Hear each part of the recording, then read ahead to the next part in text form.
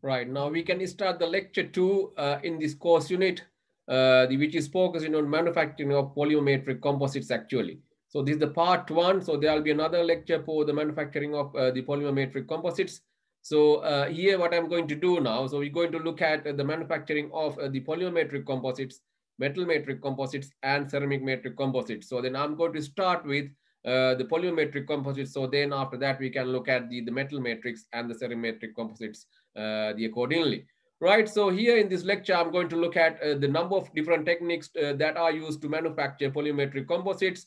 Uh, so here hand layup, spray up, injection molding, compression molding, sheet molding, compound, uh, the reinforced reaction injection molding, structural reaction injection molding. Actually, some of these, uh, the manufacturing techniques for polymer matrix composites could be really simple. So here, I'm not going to cover all the processes, all the techniques in the same capacity. So I'll be looking at some processes into the basic level. For example, so I would tell you uh, the main processing steps, the materials being used to, uh, to manufacture the products, and then uh, the main advantages and disadvantages related to the process, uh, the components that are used, and also the applications for the, the products being manufactured using that technique.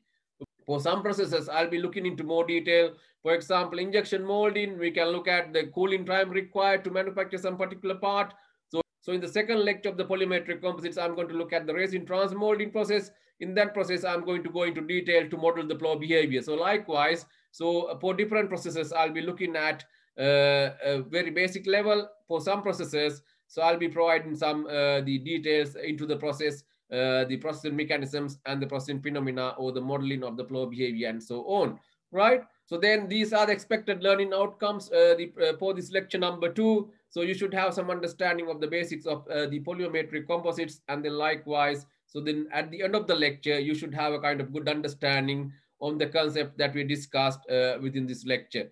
Okay, and here also I would like to encourage you to uh, read more materials relating to the manufacturing of polymer matrix composites. And the, I have uploaded some of the useful the reading materials on the Blackboard. You can read them if any of you are interested more on the uh, the specific technique or specific material, so there'll be lots of material outside you can read. And then we always encourage you to read extra materials uh, for all the topics that we are covering in this unit.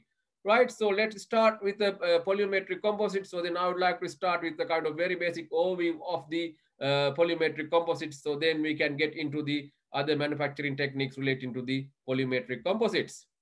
Okay, then let's make a start by looking at the possible, uh, the matrix materials for polymeric composites actually. So as we know, we can classify the polymeric materials into a few different ways or few different uh, the categories. So here we know that we can classify the materials as thermoplastic materials and thermoset materials. Okay, so here you can see some of the, uh, the thermoplastic materials or the thermoplastic nature is that, so we can just uh, the, heat the material and then uh, we can shape the material by heating and then after that, so once you just form that material into a shape, we can reheat and uh, the reshape that material into a different shape. So therefore, we can process the thermoplastic material a few different times into different shapes uh, the, without any problem. So then it is a kind of recyclable material compared to the thermoset materials. So here you can see some of the common examples for the uh, thermoplastic materials, uh, which are common in the current industry. So you could see nylon, polycarbonate, and then polyethylenes, uh, the polypropylene, and so on. In here also, we can classify the thermoplastic materials into two other groups again as amorphous materials and crystalline materials. For example, here you would see like uh, the polyethylenes, they are crystalline materials, uh, but uh, the polystyrene is a type of amorphous materials. Okay, let's look at what the difference between these two types as well. And the other important parameter is that the processing window of a given material. For example, we could say most of the thermoplastic materials, we can process them between uh, the 200 to uh, the, the 350 or so, but actually this depends on the material. Uh, let's consider the polyethylene family, for example. So I could say that the polyethylene can be processed in between uh, the 180 degrees to 250 degrees, for example. So, but again, you have to understand here, there are so many grades of polyethylene materials in the market. So therefore, depending on the grade, so we have to decide the suitable processing window or processing range for a given material. So this is something you have to look at with the melting temperature of a given material or the glass transition temperature of an amorphous material, right?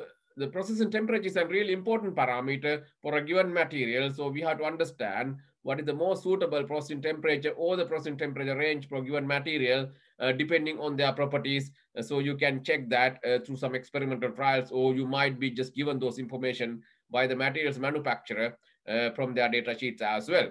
And also we can classify the polymeric materials as amorphous, semicrystalline or crystalline solid. So based on that also, we have to consider a number of parameters when we process those materials.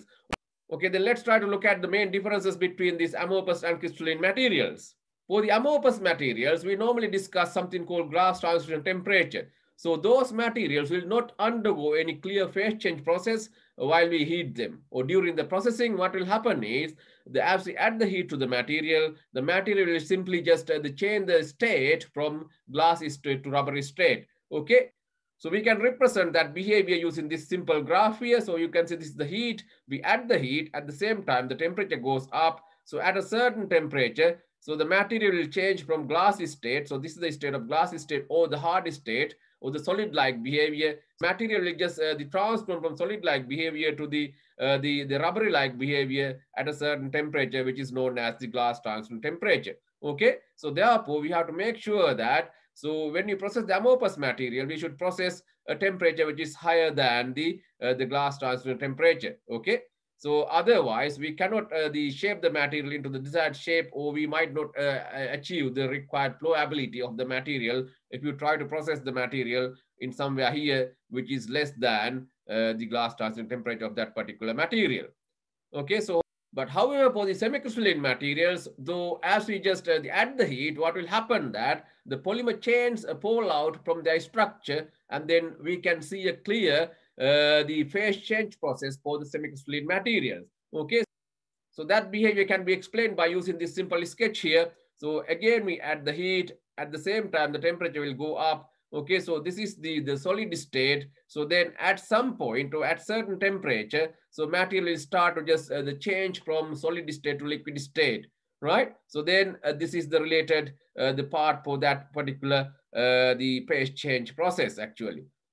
So, this temperature is known as uh, the melting temperature of that particular material or a crystalline material. But if, as you can observe from this curve, so you have to provide some amount of heat to change the material state from the solid to uh, the, the uh, liquid state or to the molten state. So this amount of heat is known as the latent heat of fusion of a given material. Okay, so this could be common for any material which are having a phase change process from solid state to liquid state. So the amount of energy required to transform a material from solid state to liquid state is known as the latent heat of fusion. Okay, so this could be different from uh, different material depending on the strength of the structure Okay, so but here you can understand now for the amorphous materials and semicrystalline materials, we can see some kind of uh, the clear uh, the difference uh, uh in their behavior during the processing. Uh, for the amorphous material, there is no clear phase change process. The material simply just uh, the the transform from glassy state to rubbery state. So that is the region we can process the material. So then we have to make sure to have a temperature which is higher than the glass transition temperature during the processing of the material uh, for the semicrystalline materials, we should uh, always select a temperature uh, greater than the melting temperature during the processing of those materials. Okay, so therefore those are really important. If you if you try to process the material somewhere here, there could be some problems because there could be some unmelted particle in the melt. So uh, always we should uh, think about the melting temperature when we select the suitable, uh, the processing window or the temperature range for a given material. So that is why, so we have a number of different grades of different materials. So when we just try to process those materials, we have to carefully observe the properties of those materials and then we have to carefully select the required processing, the parameters. Okay, for example, we should select something uh, the above the melting temperature, but not something even uh, the extremely high temperature, so then material can degrade. Okay, so uh, the processing window is a really important uh, parameter uh, during the processing of a material. Otherwise, there could be some degradation of the material that could be chemical or thermal degradation of the material. So therefore, the selection of the proper processing conditions are really important factor, uh, especially when we process the, the polymeric materials. Hope now you understand the main difference between the amorphous and crystalline materials. For the amorphous materials, we discuss the glass transition temperature. Uh, and then for the uh, crystalline materials, we discuss the melting temperature because it has a clear phase change process as we add heat to process the material. Therefore, it is really important to understand that material can behave differently uh, depending on the processing temperature that you're going to select. For example, for the amorphous materials, uh, below and above TG, the behavior of the materials are completely different. So therefore, that is an important parameter to consider. For the semi-crystalline material, the melting temperature is the main point. So then when you select the processing temperature, so you have to consider the melting temperature. If you don't consider those temperatures uh, while you process the material, so you might not get the required, uh, the processing conditions or required properties from the product that you're going to manufacture. On the other hand, the degree of crystallinity is also important during the processing of material. Okay, when you select the, the matrix materials for some given composite material, so we have to consider the degree of crystallinity of that material as well. For example, let's consider the polyethylene family. So we, so we have three main different type of polyethylenes, linear low density polyethylene, uh, the low density polyethylene and high density polyethylene. Okay, of these three main uh, the types, the most commonly used uh, the polyethylene, uh, the type for polymeric composites is the high density polyethylene. So, but why? So then there's a reason for that. So the degree of crystallinity is one of the important parameter in that aspect actually.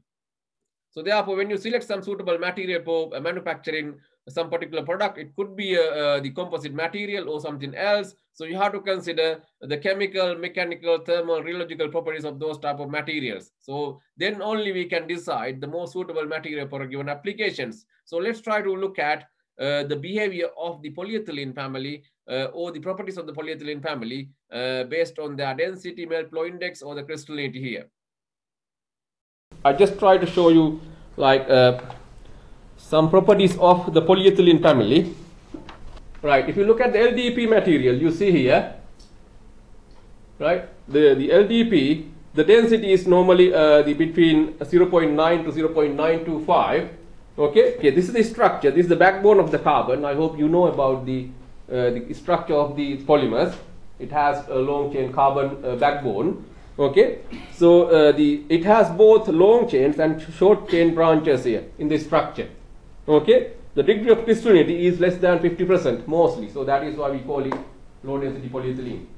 Okay, so uh, the that is the only only polyethylene material which is having long chain long chain branches. Okay, in the structure. So then, if you try to look at uh, the compare with high density polyethylene, you can see the density is roughly 0.941 maybe 940 and no long chain branches degree of crystallinity is greater than 70%. The one thing you have to just understand, so we, we discuss about a parameter called melt flow index. When you try to mix some uh, material or reinforcement with the polymers, okay, let's say this one is just uh, the 20 grams per 10 minutes. So you can measure this uh, the parameter in testing 20 grams for 10 minutes. If you try to mix with some uh, reinforcement, let's say short fiber or some powder, so this is going to decrease quite significantly. Maybe it becomes half maybe. Okay? So therefore this is a parameter how uh, the ability of material to flow. Okay? So therefore when you mix uh, the, some reinforcement with these polymers, so this value will go down. So that means it is a problem to flow it through the flow along the channels of the uh, the mold mold when you when you process it. So therefore, so therefore that is why we have different grades of material for extrusion, injection molding, thermoforming, and then depending on the manufacturing method, so we have to use different grades of thermoplastics. Okay, so that is why we have so many grades. We call injection grade, extrusion grade. If you go into to buy material, they'll ask, okay, do you want injection molding grade or extrusion grade? And then we know then which MFI is important. And then if you try to um, buy some material for uh, uh, manufacturing of composites, this is one thing. Always you try to use some high melt flow index material. Uh, possibly, uh, course, then it is going to reduce the melt flow index when you mix it with some reinforcement. Okay. So these things are not that easy. You have to just uh, study these materials before choosing some material for practical application. Then uh, the linear low density polyethylene, yeah, it also has no long chain branches. Degree of crystallinity is roughly around 40%. The density range, you can see that. Okay, so this is a comparison of uh, these three type of materials in the polyethylene family. So you have to know these properties or even more than this when you pick materials for some applications. Okay, so uh, if I try to provide some comparison in a table, so uh, the this says uh, the long chain branches per thousand backbone carbon. Okay, so if you look at the carbon, uh, the backbone, right? So for the LDP, so uh, the long chain long chain branches roughly one 4,000 carbons in the in the backbone. Okay, and then HDP and LD, LLDP, they don't have any long chain branches. And short chain, uh, the for the LDP 15 to 30, 4,000 carbons. High density polyethylene up to 10 right? And so on we can compare the material. So these you have to look at these properties when you choose materials uh, for uh, applications. It could be composite manufacturing or any other still you have to know these properties. Okay normally thermo uh, the plastic materials are not good in high, te- high, high temperature applications. Uh, the but the processing temperature the processing temperature for thermoplastics are a bit higher than the thermosets. Okay? Processing temperature so i was just i was talking about the processing temperature for polyethylene here. Okay? So then this is a thermoplastic material. The polyurethane is a thermoset material so we might process this in a wide range maybe up to 25 to 80 degrees.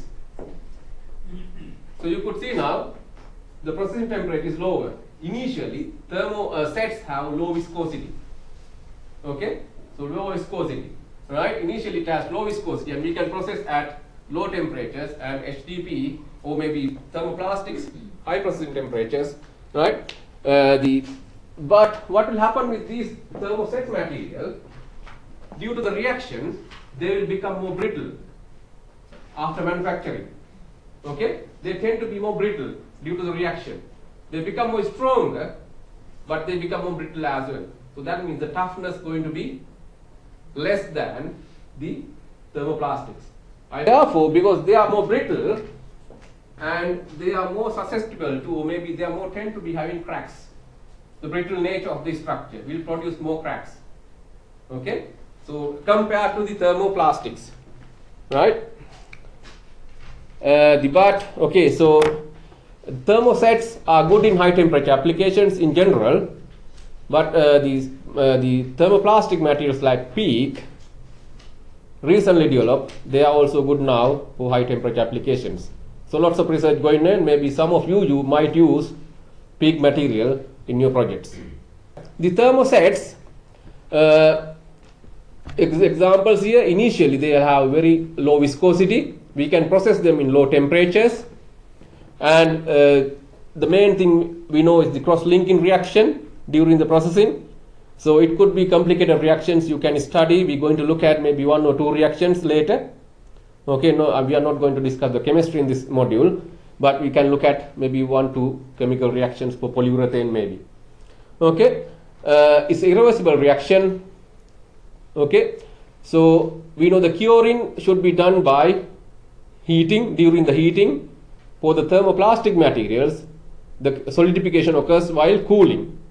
For the thermosets, we have to heat it up during the curing, uh, the solidification. The, the cross-linking, uh, it will just prevent the movement of the molecular chains after curing. So then therefore that is why it is difficult to reprocess them. Okay, it's a permanent reaction. The cross-link will just try to tie down or the, uh, tie up the chains uh, so tightly, so therefore they can't move after the after the curing reaction. So that is one of the main reasons we can't reprocess them. But thermoplastic material, we can heat it up and then reform into another shape. Okay.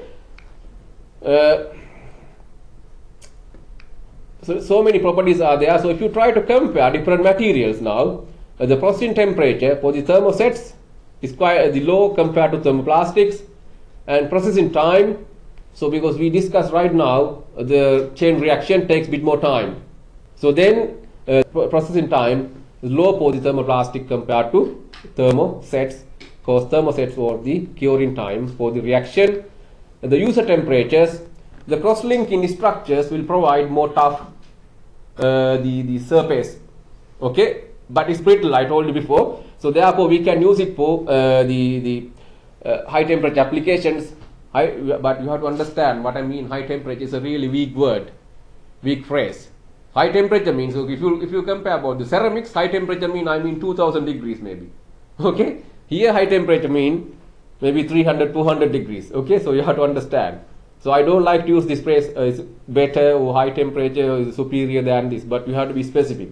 For the polymers, you might use it for 300 to 400 maybe, even maybe not that much. Metals, 7 to 800. Ceramics, maybe about 1000. So that is what I mean by high. Okay, so it depends on the material type. Okay, and the toughness of the thermosets are low because they become more brittle. What is the definition of the toughness? Toughness is the energy a material can absorb before failure or fracture. Yes, so then, so they tend to be more stretchy thermoplastics compared to thermosets. Thermoset material, you can easily break it, maybe they will break without much deformation. So therefore, the, uh, the toughness is low for uh, the thermoset material compared to thermoplastics. Okay, so this is mostly the answer is the, the cross-linking reaction. So they try to block the molecules, uh, chain molecule chains, so they can't move them. So therefore they can't have some deformation. Okay, right, uh, tend to be brittle. So comparisons, uh, thermoplastics, we discussed already thermosets and then so many uh, the good and bad points, pros and cons. So uh, you can study here. Okay, uh, thermoplastics, high impact resistance, surface, good surface finish, recycling, no emissions, but no emission means it doesn't mean there are some emissions. Okay, so uh, we have to be careful on those things when you process. If you work in plastic industry, this could be cancer causing.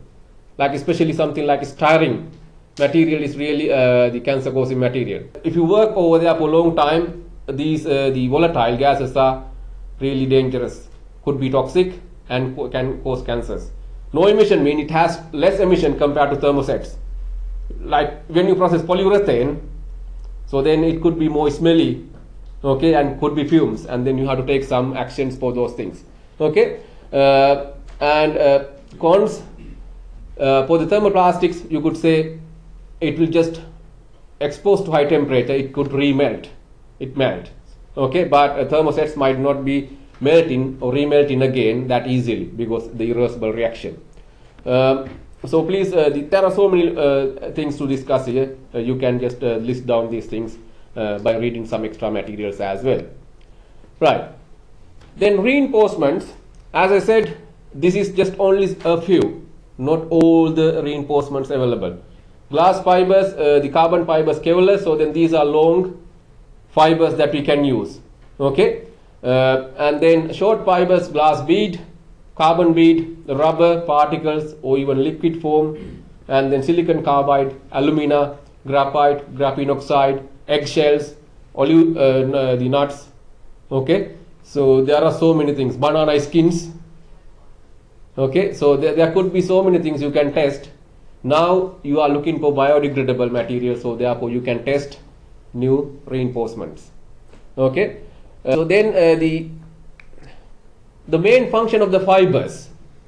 The fibers, okay, so it's quite uh, uh, the knowledge that you have already to carry the applied load. So that is why we want to have a reinforcement. That is the concept of the composites as well. So we want to produce some material with more uh, the functional properties, with more strength ideally, okay? To carry the stiffness or to provide the functional properties. Stiffness, maybe conductivity, or insulation properties we don't know. So whatever the properties that you want so you choose the reinforcement. Sometimes you won't have conductive polymers. So then you use some reinforcement with conductive properties okay? So then fibers will provide the functional properties as well thermal stability or maybe isotropic properties in all the directions and so on you decide. So these are the the, the uh, main functions of the fibers in a composite. Uh, the main function of the matrix material so of, of course uh, the matrix material just bind or keep the fibers together to form the structure.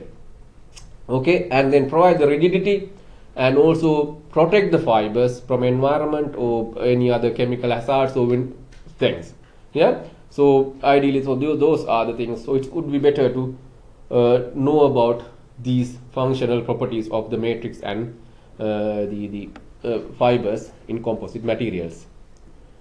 Okay, and the other thing, uh, the so many materials available. So when you manufacture the composites, you have to know about the compatibility between the resin material and the fiber. The compatibility mean so they should go together. You know that sometimes some people they, they are not compatible each other. Okay, so then we can't just uh, the, put them together. So that, for example, now let's say one reinforcement is not adding to or sticking with the, the matrix. So then no use. We can't use those two together, isn't it? So no point. So therefore compatibility is important. That is one thing. Maybe sometimes we want to have some chemical reaction, sometimes may not be. So therefore we have to check the compatibility of the resin and matrix material when you use them. Um, that is why so properties are important here. So you have to know these things. And there are several other things to decide type of applications, cost factors, the manufacturing techniques, okay, uh, the, uh, the economical manufacturing. So you don't need to just put uh, lots of fibers if it is a really low uh, strength applications. It's a waste of money and no waste of resources as well. Okay, so why polymer matrix composites are better? You could see now specific modulus and specific strength. So polyethylene is here, and so so many uh, the other uh, reinforcements used in uh, polymer matrix are good in specific modulus. Okay, so you can see the definition for these words. These are quite well known. And carbon fiber reinforcement, uh, reinforced plastics, top in the, the, the here in the in the right hand uh, corner, specific modulus, specific strength. That is why the pioneering material uh, to be in aerospace industry. So uh, it's a quite familiar chart for you in the material selection exercise last uh, last semester. So strength and density. So these are the polymers, but with composites, we can just push it up so to have high strength. Okay, so it, it has new properties, and so we improve the properties. Right. So again, stiffness, uh, the composites can come to the stiffness of metals and ceramics uh, uh, the when we manufacture the composite material. So strength values specific strength, tensile strength, they are better. Okay, so applications, the market, USA and Europe. So uh, the you can look into them. Right. That's